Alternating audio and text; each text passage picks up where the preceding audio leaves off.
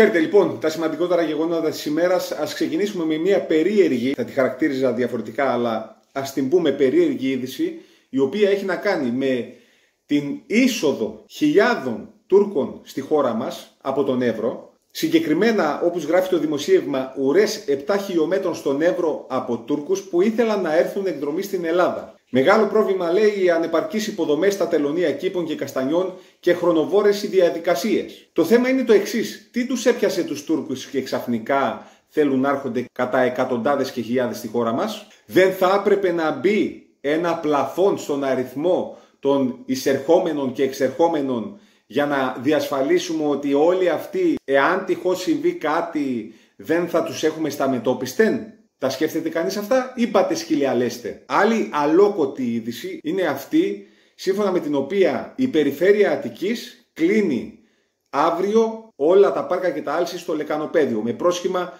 τον κίνδυνο πυρκαγιάς. Από εκεί λοιπόν που ο κόσμος μπορούσε να πάει σε οποιοδήποτε πάρκο ή άλσος για να δροσιστεί τις ημέρες οι οποίες έχουν πάρα πολύ αυξημένες ε, θερμοκρασίες, τι κάνουν οι έξυπνοι δήμοι ή ο Περιφερειάρχης, κλείνουν τα πάρκα και τα άλση για να ταλαιπωρείται, για να μην πω τίποτα χειρότερο, για να ταλαιπωρείται ο κόσμος στον καύσωνα. Αν θέλετε κύριοι της περιφέρειας να διασφαλίσετε τα άλση και τα πάρκα του λικανοπεδίου, μπορείτε να ζητήσετε τη συνδρομή του στρατού, όπου κάτι τέτοιο είναι στα καθήκοντά του, να περιπολεί μέσα στα άλση και τα πάρκα, είτε να πληρώσετε ιδιωτική ασφάλεια. Χρήματα, δόξα τω Θεώ, έχετε πολλά, ας τα σπαταλίσετε σε κάτι χρήσιμο. Μία μέρα μετά τις απειλές του ηγέτη της Χερπολάχ κατά της Κυπριακής Δημοκρατίας, έρχεται η είδηση πως ο Οργανισμός Τουρκικών Κρατών, ο οποίος περιλαμβάνει 5 κράτη-μέλη και 2 κράτη παρατηρητές, σύμφωνα με τον πρώην πρεσβευτή της Κυργιζίας στο Αζερβαϊτζάν,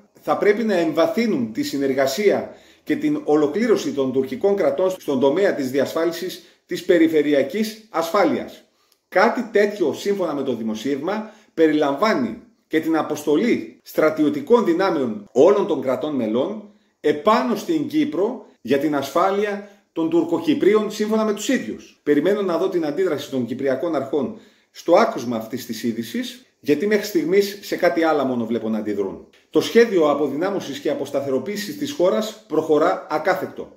Φωτιά σήμερα σε Μεγαλόπολη, Αργολίδα, Μαύρο Λιθάρι Αναβίσου, στη Δροσοπηγή Κορινθίας, στο Μαστραντόνι, στην Τριτέα Αχαία, στην Εύβοια σε δασική περιοχή στην Παναγίτσα, σε δύο περιοχές στην Θήβα και σε πολλά άλλα σημεία. Το γελίο της υπόθεσης είναι ότι τα δημοσιεύματα μιλούν για ξέσπασμα πυρκαγιών. Όχι, δεν είναι καθόλου ξέσπασμα. Δεν ξεσπούν από μόνες τους οι φωτιές. Κάποιοι τις βάζουν και ξέρουμε πολύ καλά το ποιοι είναι αυτοί. Φυσικά καμία αντίδραση για πρόληψη αυτού του υβριδικού πολέμου, τον οποίο υφίσταται η χώρα μας εδώ και πάρα πολλά χρόνια. Σύμφωνα με τον Ούγγρο Πρόεδρο, το ΝΑΤΟ θα προχωρήσει σε μια στρατιωτική αποστολή μέσα στην Ουκρανία. Η Ουγγαρία όμως δεν θα συμμετάσχει σε αυτή. Ο Όρμπαν δήλωσε πως πετύχαμε τον ελάχιστο στόχο σύμφωνα με τον Γενικό Γραμματέα του ΝΑΤΟ. Η Ουγγαρία θα κατέβει όμως από το τρένο και δεν θα συμμετάσχει σε οτιδήποτε θέλουν να κάνουν.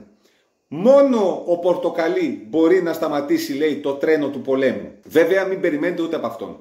Γιατί μπορεί να σταματήσει το τρένο του πολέμου επάνω στην Ουκρανία, εάν γίνουν οι εκλογές στις ΗΠΑ ή εάν θα ζει όταν θα είναι να γίνουν οι εκλογές και να σταματήσει το μέτωπο στην Ουκρανία, θα αφήσει άλλα μέτωπα να εξελίσσονται. Και όταν λέω άλλα μέτωπα, Δείτε αυτό της Μέσης Ανατολής. Η απόφαση λέει για την αποστολή στρατευμάτων, σύμφωνα με τον Όρμπαν, είναι πολύ πιθανό να ληφθεί και να προαναγγελθεί στην Σύνοδο Κορυφής του ΝΑΤΟ τον Ιούλιο, δηλαδή τις ερχόμενες εβδομάδες. Για να δούμε ποια θα είναι η στάση της χώρας μας σε κάτι τέτοιο. Και πάμε στην πιο σοβαρή είδηση της ημέρας, κατά την άποψή μου, η οποία έχει να κάνει με αυτό που σας έλεγα ότι θα συμβεί εάν τη γλιτώσει ο Σλοβάκος πρόεδρος από την απόπειρα δολοφονίας. Λίγες μέρες λοιπόν μετά την έξοδό του από το νοσοκομείο, η πολιτική ηγεσία της Σλοβακίας μηνύει τους προκατόχους της για τη μεταφορά μαχητικών αεροσκαφών MiG-29 και εξαρτημάτων για το σύστημα αεράμινας στην Ουκρανία τον Μάρτιο του 2023. Η μήνυση υποβλήθηκε από το ίδιο το Υπουργείο Άμυνας, εκπρόσωπος του οποίου είπε ότι θεωρούν την απόφαση του πρώην Πρωθυπουργού και του πρώην Υπουργού Άμυνας ως δολιοφθορά κατάχρηση εξουσίας, κατάχρηση καθήκοντος, το οποίο έθεσε σε κίνδυνο την αμυντική ικανότητα της χώρας. Μετά από αυτήν την απόφαση συγκεκριμένα είπανε πως ο ουρανός της χώρας παρέμεινε απροστάτευτος και οι πολίτες απειλούνται.